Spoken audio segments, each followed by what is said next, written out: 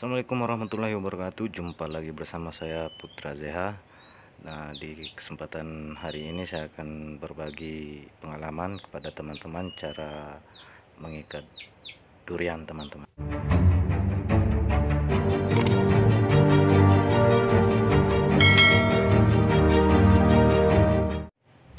Oke teman-teman yang perlu teman-teman persiapkan di sini adalah tali dan juga joran pengikat teman-teman ya tapi misalkan joran yang kayak gini tidak ada di tempat teman-teman ah, boleh teman-teman bikin pakai bambu teman-teman ya.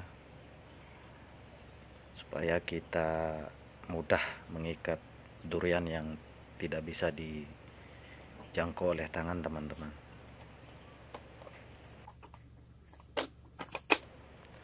Nah oke teman-teman kenapa kita harus mengikat durian musangking? Karena di Malaysia itu durian musangking itu harus diikat teman-teman supaya tangkainya tidak patah dan duriannya tidak pecah teman-teman kalau jatuh. Nah jadi misalkan tangkainya patah atau duriannya pecah harganya pun mengurang teman-teman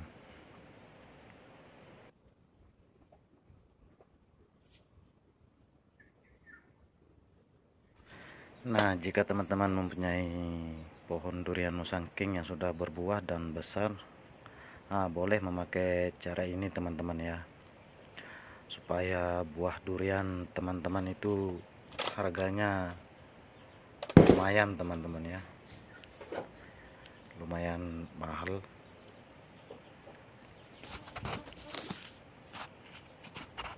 Nah oke okay, teman-teman kita akan mengikat yang di sebelah sini dulu. Karena yang tadi sudah selesai dan kita akan pindah ke sini dulu ya teman-teman.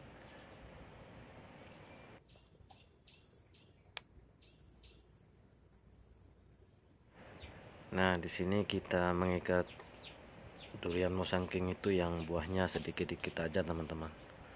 Nah, kalau buahnya banyak kita akan memakai jaring teman-teman.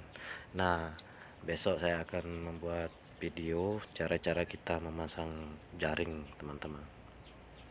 Supaya nanti teman-teman kalau buah duriannya sudah besar nah boleh memakai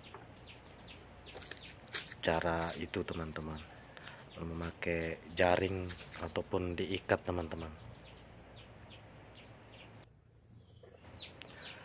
Oh ya teman-teman di sini kita mengikat durian itu memakai tali rapia teman-teman ya.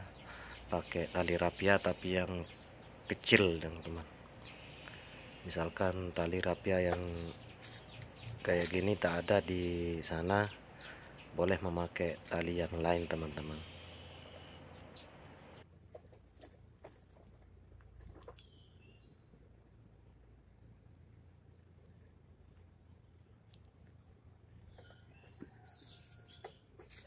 Nah oke teman-teman. Sudah selesai mengikat semua.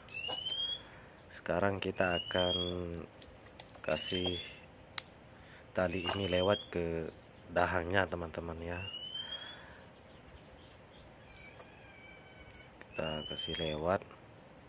Nah sudah itu kita akan mengikat di Pohonnya teman-teman.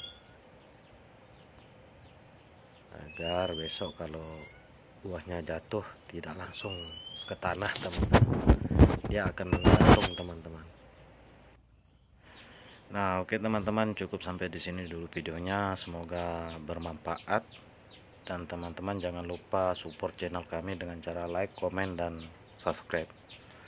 Wabillahi taufik di hidayah. Wassalamualaikum warahmatullahi wabarakatuh